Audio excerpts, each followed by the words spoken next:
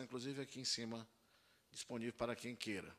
Convido agora para fazer uso da palavra o senhor Rodrigo Vieira de Ávila, representante do Observatório de Finanças da Comissão Brasileira de Justiça e Paz da CNBB.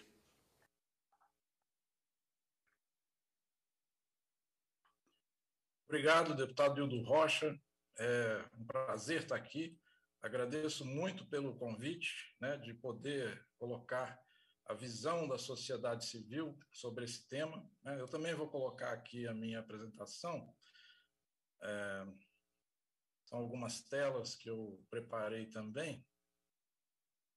Só um, um momento.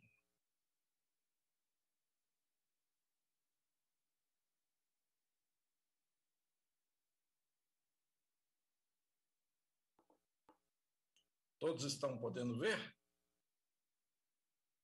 Tá ok, tá, tá bom. Obrigado. É, bom, em primeiro lugar, é importante a gente verificar, né, já que o requerimento original da audiência pública foi exatamente verificar o destino né, das receitas provenientes de operações de crédito, né, vamos então analisar para que vão ser utilizadas essas receitas, né, como já foi até já colocado pela Maria Lúcia e também pelo representante do TCU. Né? Eu vou passar uma tela para frente aqui. É, todos estão vendo a, a, próxima tela? Sim, né? É, no PELOA 2022, é, o que, que nós temos, basicamente? Né? É, nós temos receitas de emissão de títulos do Tesouro Nacional, que são as fontes 43 e 44, né, que são as principais fontes de operações de crédito, né, são as emissões de títulos da dívida imobiliária interna federal, né, que em 2022 está planejado né, pelo PILOA 2022 serem de 2,342 trilhões. Né?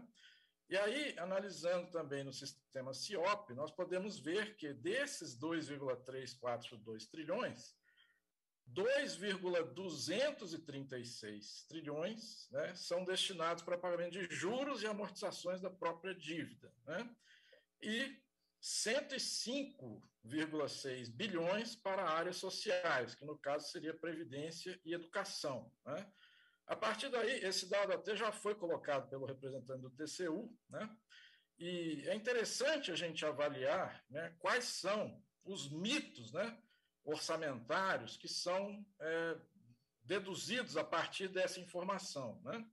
O que, que geralmente se fala né, há muitos anos, né, principalmente nos últimos anos, né, é que o Estado brasileiro teria um déficit, estaria quebrado, né, o Estado não tem dinheiro, ele, ele tem um déficit primário e que, por isso, né, estaria precisando do endividamento para cobrir né, as áreas sociais. Nesse caso, do orçamento 2022, seriam 105,6 bilhões né, de emissão de títulos para áreas sociais, como previdência e educação. E aí muitos deduzem a partir daí né, que a dívida pública ela tem sido um instrumento para financiar áreas sociais. Né? Será verdade? Né? Para a gente entender isso, nós temos que ampliar um pouco a visão né, e considerarmos, por outro lado, né, como serão financiados os gastos com juros e amortizações da dívida no ano que vem, segundo o PELUA 2022, né, que são, né, como a Maria Lúcia já colocou, 2,471 trilhões, né, sendo 2,236 trilhões provenientes de operação de crédito, ou seja, dívida para pagar juros e amortizações, e, olha só que interessante, 235 bilhões provenientes de outras fontes orçamentárias, não são emissão de títulos. Né? Então, olha só que coisa. Serão 105 bilhões que a dívida pública vai destinar para saúde e educação. Mas, por outro lado, nós temos 235 bilhões, mais que o dobro de recursos de outras fontes, por exemplo, remuneração da conta única, lucro do Banco Central, recebimento de dívida dos estados e municípios, que não entram no cálculo do déficit primário. Né? Quando a gente considera essas receitas, a gente verifica que, na verdade, a dívida não tem financiado as áreas sociais. ela, na verdade, tem subtraído os recursos das áreas sociais. Por quê? Porque outras fontes de recursos, lucros do Banco Central, recebimento de dívidas dos estados e municípios, remuneração da conta única que o Banco Central tem que pagar ao Tesouro, né? Ou seja, no ano que vem, a dívida não vai financiar as áreas sociais. E aí, é muito importante isso, deputado Hilton Hildo Rocha, porque a dívida pública não tem servido para financiar as áreas sociais. Por que, que nós estamos emitindo dois, mais de 2 trilhões de títulos no ano que vem? Não é para fechar o rombo do Estado, não existe rombo do Estado. Porque quando nós consideramos todas as receitas, inclusive as receitas que a metodologia do FMI de superávit primário ocultam. Né? Essa metodologia do FMI oculta diversas receitas que poderiam estar indo para as áreas sociais. E aí poderia muita gente falar: ah, mas são só 100 bilhões. Né? Você vai pegar 105 da dívida para financiar a área social, por outro, você vai pegar 235 de outras fontes e dar para a dívida. Então, a dívida vai estar sugando apenas 100 bilhões. Isso é o que diz o PELOA 2022. Se a gente fizer um histórico, por exemplo, nós fizemos aqui um histórico de 2014 a 2020, de como se comportou a dívida pública no país, né? E verificamos simplesmente que essa história de déficit financiado por endividamento é uma grande mentira. Né? Porque olha só o que, que acontece. Por um lado, realmente, né, foram emitidos 908 bilhões de títulos da dívida pública federal para financiar a área social, realmente. Nesses sete anos, né, 2014 a 2020, de fato foi a dívida né, foi emitido 908 bilhões de, de títulos para financiar áreas sociais. E aí os analistas né, de muitos setores, inclusive partidos, inclusive de esquerda, costumam falar isso. Ah, a dívida tem financiado a área social. Né? Ah, temos que, desde 2014, temos tido déficit primário e a dívida serve para fechar esse rombo. Não existe isso. Por quê? Porque, por outro lado, né, outras contas do orçamento federal, sem contar a emissão de títulos, né, outras fontes destinaram, destinaram 1,8 trilhão para o pagamento da dívida pública. Então, na verdade, é uma grande pegadinha. Né? A dívida não está financiando as áreas sociais, a dívida não está servindo para o desenvolvimento nacional. Né? Muitos dizem né? E realmente a função original de uma dívida pública seria essa: seria financiar o país, concordamos? Né? Em tese, seria para financiar investimentos, mas o próprio representante do TCU, né, na audiência pública citada pela Maria Lúcia, disse que não serviu para isso. E também não serviu nem mesmo para pagar despesas correntes. Porque nós vemos aqui por esse mecanismo né, que, na verdade, é uma grande pegadinha, porque, por outro lado, várias outras receitas do orçamento, que não tem nada a ver com emissão de títulos, vão para pagar dívida pública. Então, na verdade, essa dívida ela não tem servido para financiar o governo, financiar os gastos sociais, não, ela existe para subtrair recursos né, das áreas sociais. E qual é o resultado disso? Né? Qual é o resultado de se gastar metade do orçamento com Dívida pública é concentração de renda, é pegar a riqueza produzida pelos trabalhadores né, e destinar para os rentistas. Né? É um absurdo que pessoas possam defender né, o pagamento da dívida, inclusive até via emissão de moeda. Né? Ah, vamos emitir moeda, a dívida interna não tem problema nenhum, porque pode emitir, o Estado não tem restrição para emitir, né? então vamos emitir pagar os bancos, vamos pagar os, os rentistas ou seja, defende exatamente a mais-valia, né, citada originalmente pelo Karl Marx, né, que é exatamente a riqueza retirada dos trabalhadores que passa para os rentistas. Né? Então, é, é interessante verificar. Nós, da Auditoria Cidadã, sempre defendemos a emissão monetária, mas para gastos sociais, não para pagar dívida, como foi feito, inclusive, no ano passado. Né? No ano passado, né, onde muitos falam que a pandemia significou né, que o governo teve que se endividar para cobrir os gastos com a pandemia, né, no ano passado e nesse ano também. Uma mentira. Na verdade, o governo ele usou recursos do chamado lucro do Banco Central, a valorização das reservas internacionais, mais de 300 bilhões de reais, que não é dinheiro que veio de algum lugar, não, foi emissão de moeda mesmo, que o Banco Central entregou para o Tesouro ano passado, 300, mais de 300 bilhões de reais. Para quê? Para pagar dívida pública. Aí não tem limite. Né? Nós, da Auditoria Cidadã da Dívida, defendemos, né, da Auditoria Cidadã da Dívida, que faz parte, inclusive, do Observatório de Finanças, né, a Auditoria Cidadã da Dívida é uma das entidades do Observatório de Finanças da CNBB, né, da CBJP, né, nós defendemos né, a emissão de moeda para investimentos sociais, não para pagar a dívida. Né? Vamos só prosseguir ampliando ainda mais. Né? Eu sei que essa tabela aqui está meio difícil das pessoas verem, né? mas ela faz esse cálculo né, desde do ano 2000, né? desde 2000 para cá, com a, com a criação da chamada Lei de Responsabilidade Fiscal, né, como se fosse resolver o problema do país, né?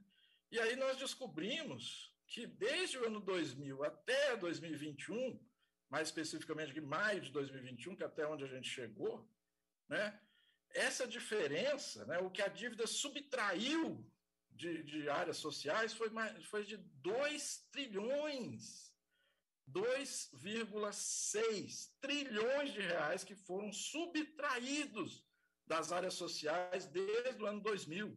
Aí poderiam falar, não, mas vamos ver de 2014 para cá, porque é quando teve déficit primário. Mesmo assim, 900 bilhões, mais de 900 bilhões, mesmo na pandemia. Né? Mesmo se a gente pegar o período da pandemia, por exemplo, 2020 e 2021, que aqui a gente fez até maio, sobrou recurso. A dívida não financiou a pandemia. Por quê? Porque é uma grande pegadinha isso.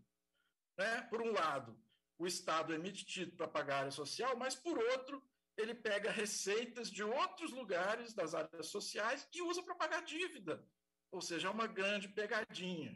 Né? Então, é interessante a gente discutir isso, porque isso mostra que o endividamento público ele não tem servido para financiar o país. Né? Ele tem servido para quê? Para subtrair recursos das áreas sociais entregar para os rentistas, né? concentrando a renda, né? concentrando poder, né? porque concentrar renda é concentrar poder. Tem bancos aí comprando empresas de telecomunicações, né? para aumentar o poder sobre as políticas do Estado, né? convencer as pessoas sobre as suas políticas, comprando terras. Né? Quando bancos, rentistas compram terras, a gente sabe que não vai ser para o interesse do povo. Não vai ser para produzir alimento para o povo, não é por outra razão que a gente tem fome no país, né? porque a riqueza nacional produz poder na mão de poucos, né? e isso é importante colocar. Né? Vamos adiante, na última tela, né? só passar aqui. Então, para concluir, né? quais são os mitos orçamentários? Né? É que a dívida estaria sendo usada para cobrir o déficit do governo, que é uma grande mentira. Né?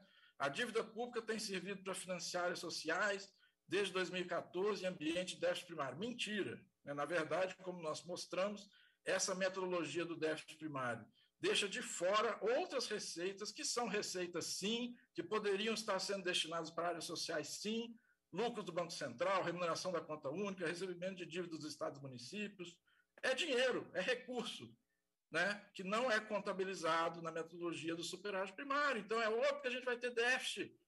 Né?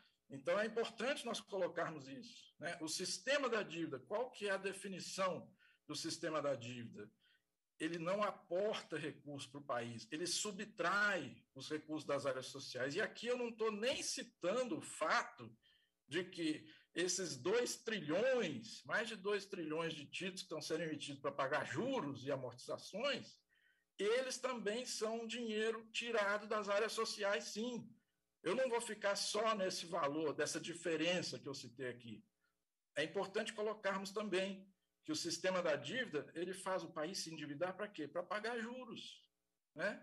Quando você faz um empréstimo para rolar uma dívida anterior, você está fazendo um custo de oportunidade. Em economia se usa o conceito de custo de oportunidade. Quando se faz um empréstimo para pagar juros ou para pagar amortização, isso se chama custo de oportunidade. Você poderia estar usando esse empréstimo para investir na saúde, na educação. Em países como o Japão, onde o juro é negativo, Estados Unidos, Europa, a dívida serve para investir nas áreas sociais.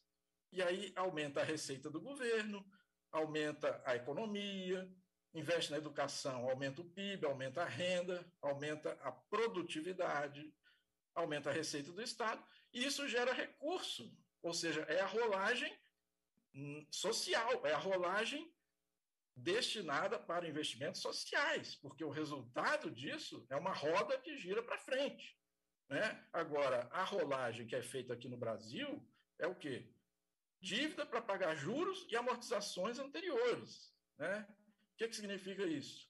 Significa que a dívida vai aumentar, aumentar, aumentar, sem financiar nada das áreas sociais. É uma grande mentira isso que a gente vê na televisão, de que a dívida financia a área social, que o país tem que cortar gás, tem que fazer reforma administrativa, tem que fazer reformas mil para poder economizar para pagar a dívida. Isso é mentira. Na verdade, a dívida é que suga os recursos do país, não a administração dos servidores públicos, a previdência, servidores públicos, não tem nada a ver com isso.